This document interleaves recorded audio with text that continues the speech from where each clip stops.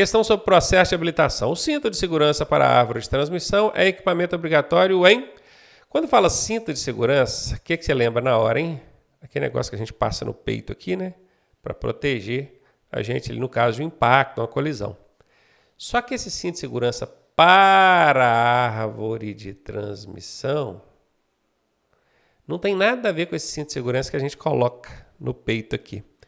Isso aqui é o seguinte, deixa eu ver se eu consigo desenhar. Como é que eu vou desenhar isso aqui?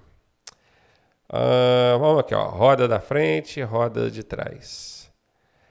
Aqui, isso aqui é uma caminhonete, um caminhão, um veículo maior um pouquinho, tá?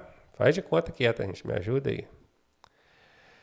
Aqui debaixo dos veículos de médio ou grande porte tem um eixo que chama-se eixo cardan.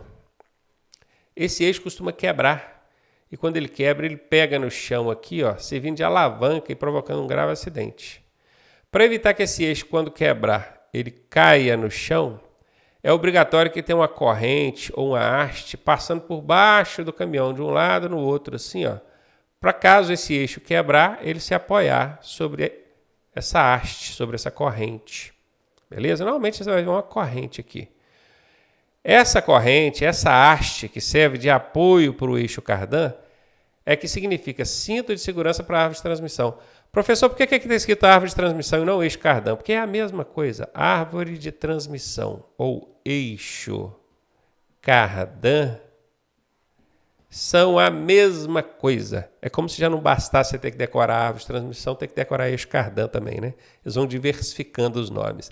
Mas é a mesma coisa. Isso aqui de baixo aqui, ó, é o eixo cardan ou árvore de transmissão. Ela chama árvore de transmissão porque ela pega a força gerada, ó, a força que saiu da caixa de marchas aqui, ó, e transmite para o diferencial que está lá atrás. Por isso que ela é chamada de árvore de transmissão. Ela é uma árvore que transmite essa força lá para trás. Então tá aí. Isso é obrigatório em quem? Motocicleta? Isso aqui não é uma motocicleta que eu desenhei, não, né? Quadriciclo? Não.